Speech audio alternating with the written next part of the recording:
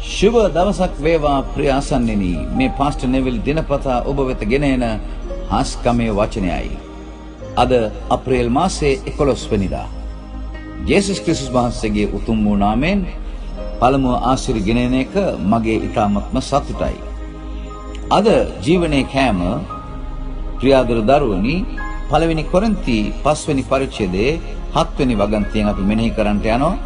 ඔබ දන්නවා අපේ තේමාව මොකක්ද කියලා? අපි මේ මහා සිකුරාදා දවසට සහ පාස්කු ඉරිදාවට අපේ හදවත් අපි පිළියෙල කරගනිමින් පවතිනවා. බයිබලයේ සඳහන් වෙනවා මේ විදිහට මොහොන් නැත්තා වූ නුඹලා අලුත් පිටක් වන පිණිස පරණ මොහොන් පහ කරපල්ලා කුමක් හේඳ අපගේ පාස්කුව එනම් ක්‍රිස්තුස් වහන්සේ යාග කරන ලද්දේය කියලා. ආයත් කියන්න අපගේ පාස්කුව එනම් ක්‍රිස්තුස් වහන්සේ යාග කරන ලද්දේය.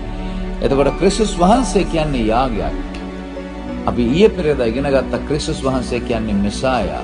මෙසායාට ග්‍රීක නම තමයි ක්‍රිස්තුස් නැත්නම් ඉංග්‍රීසි නම තමයි ක්‍රිස්තුස්. ඒ කියන්නේ ජේසුස් ක්‍රිස්තුස් වහන්සේගේ දෙවනි නම නෙමෙයි ක්‍රිස්තුස් කියන්නේ. ක්‍රිස්තුස් තමයි පූජාව.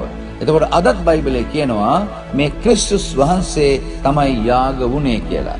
එතකොට එක යාගයයි අවශ්‍ය කරන්නේ. එක පූජාවයි අවශ්‍ය කරන්නේ. ඒ නිසා තමයි දෙවියන් වහන්සේ තමන්ගේ පුත්‍ර ජේසුස් වහන්සේව එව්වේ ඒ පූජාව කර කරන්නට. එතකොට ඔබට මතක ඇති නික්මයන් පොතේ 12 වෙනි පරිච්ඡේදයේ ඊශ්‍රායල් සෙනග ඊශ්‍රායල් සෙනගට පාස්කුවක් අවශ්‍ය වුණා.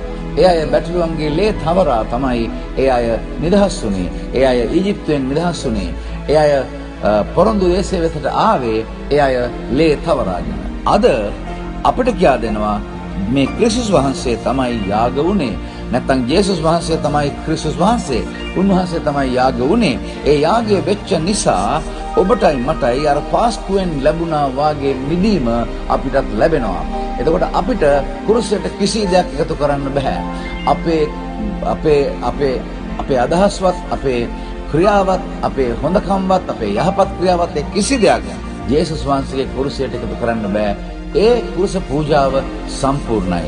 ඒ නිසා තමයි ජේසුස් වහන්සේ කුරුසයේදී කිව්වේ හැමදේම තීන්දුව වුණා කියලා. ඒ හැමදේම තීන්දුව වුණා කියන්නේ පියාණන් වහන්සේගේ සැලසුම ඉටු වුණා. ඔබගේ පාපය ඉවරයි, ඔබගේ සාපය ඉවරයි, ඔබගේ හැම දුප්පත්කමක්ම ඉවරයි, ඔබගේ පරාජය ඉවරයි, ඔබගේ මරණය ඉවරයි. ඔබ ජේසුස් වහන්සේගේ නැත්නම් දෙවියන් වහන්සේගේ දරුවෙක් වෙනවා. ඒ නිසා දේව ආශිර්වාදයෙන් පිරි සුබ දවසක් වේවා. ආමේන්.